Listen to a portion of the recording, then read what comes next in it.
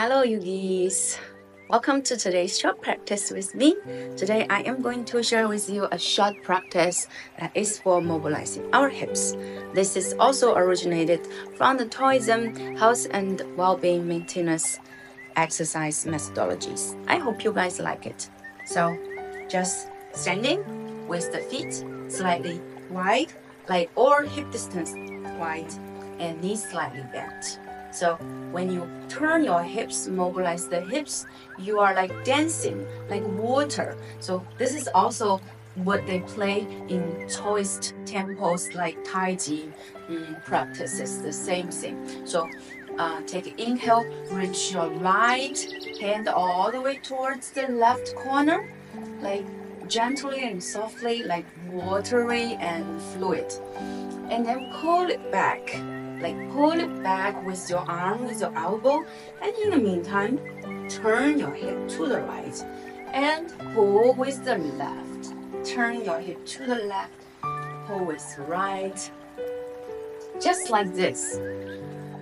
And you feel like the strength you are pulling with your arms in the opposite direction and pull it back.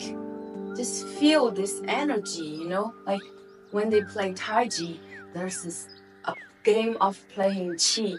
Qi is which is the prana, the energy. It's invisible, but you can feel it. So this is the power, the strength you are generating with your own body movement to um, turn your hip right and the left. And then you feel the mobilization in your body.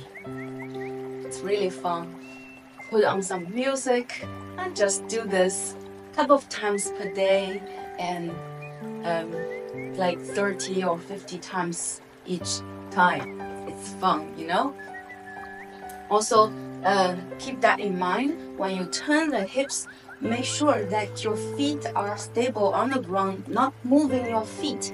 The point here is to mobilize your um, hips.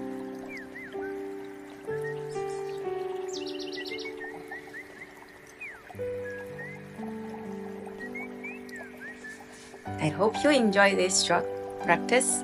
I'll see you in the next one. Bye bye.